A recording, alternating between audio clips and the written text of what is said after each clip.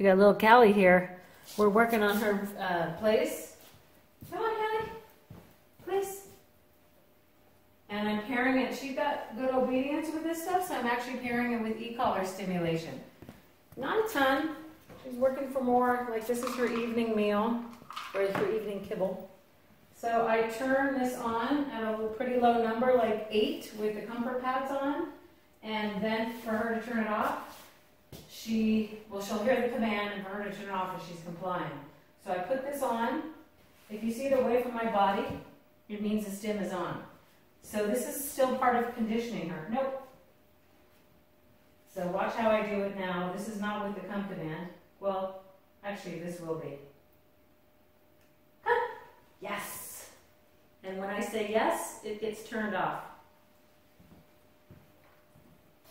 Place. Yes.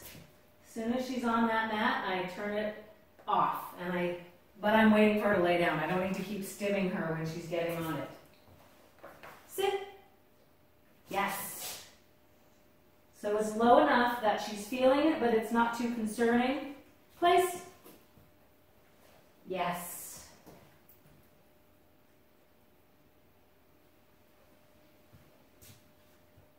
Sit.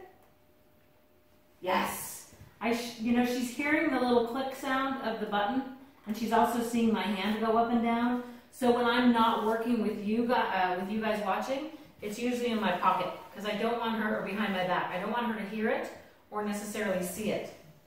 Place. Yes.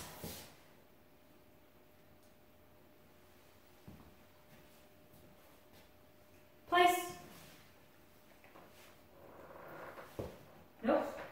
Yes. So that just showed you that physical cues really tempt a dog. And I, she's well trained with some of these commands. So she gets it. So I know she's feeling it. I'm going to go down to like a six. Let's go. Good girl. Couple more of those. Sit. Sit. Yes. So I rolled up onto a 13 on there. I said sit. Good. And let's go. And as she was um, looking at me, I walked into her to give her a little, um, I guess that's, you call it spatial pressure. So let's go back down. I know she feels it. Place. Yes. I don't need to do this too much more. I just want you guys to see a different way to condition a dog to e-collar. Um, I want it. I want her to learn to avoid it. Right now, she's learning to escape it. If you don't know what that means, look up escape avoidance in training or in psychology. It's part of operant conditioning. Yes, that's what we did the other day. She knows when she feels it to come.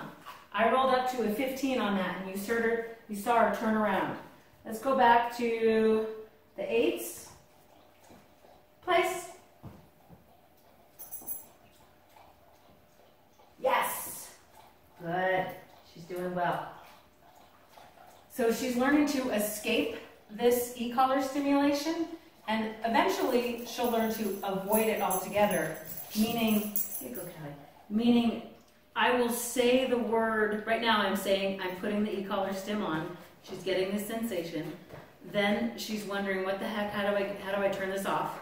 So I say the command, which she already knows. She knows the command, and she complies, and the button goes off, and I say yes, and she gets food. So that's the escape part of it. She's learning how to turn it off.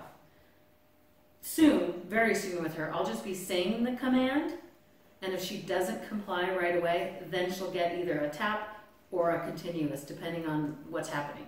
So that way she learns how to avoid it all, always. So as humans, we need to be really consistent with say the command once, give her like two to three seconds. If she's not responding, at e-collar stimulation.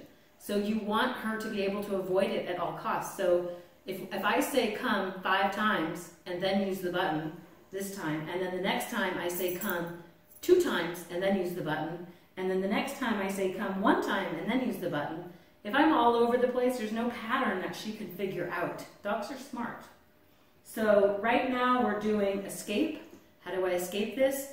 And very quickly we're going to go to avoidance. So she's going to learn how to avoid it altogether by complying within a second or two. So that's a little tidbit on that part, escape avoidance. Kelly, place. Good. And typically I leave a dog here to hang out for a while, but I actually want her to hang out more in the kennel because she's not so psyched in the kennel, especially when I leave the house. So I want her to get on the treadmill for a little bit, and then when I leave, I'll put her in the kennel. Or when I, exactly, when I leave, I'll put her in the kennel. So I'm going to put her on the treadmill now. We'll let you see that. And then we'll have her there for maybe 10 or 15 minutes. And then I'll practice actually leaving. Callie, let's go. Good girl. Come on. Good. Good girl. Her to, come here. She doesn't really like to be pulled by the collars. This I know.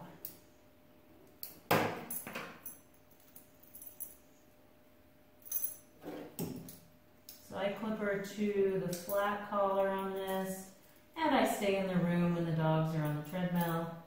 It's a little tricky to leave to go to my desk because dogs don't like it when I go behind them. It makes them nervous right now. But if I stay in front of her, it works out all right.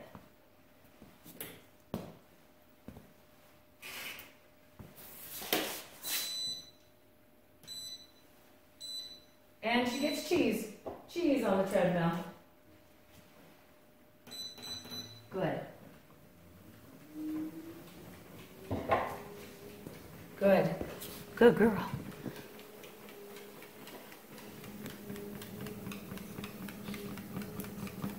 So I'm going to leave her here for a few minutes, maybe 10 minutes, and then give her some kennel time while I pretend I leave the house. Hope you guys are having a good day. Bye.